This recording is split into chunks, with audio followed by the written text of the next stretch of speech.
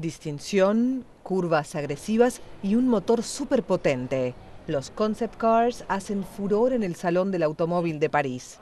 Los grandes fabricantes gastaron centenas de miles de dólares para captar compradores y promover sus marcas.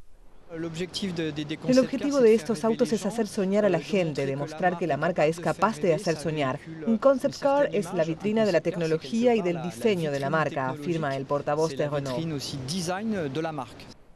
Además de estimular la imaginación de los diseñadores, estos autos ostentan tecnología de punta, a veces importada de la Fórmula 1, con innovaciones que en el futuro estarán en todos los vehículos.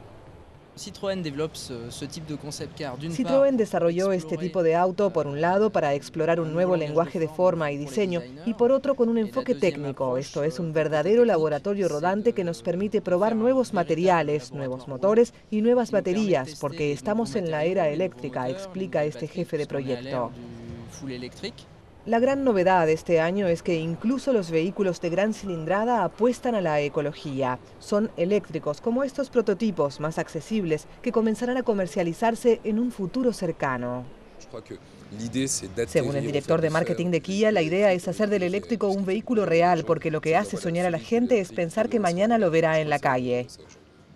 Por ahora, soñar es la única forma de comprar uno de estos bólidos que los fabricantes guardan celosamente en un lugar secreto.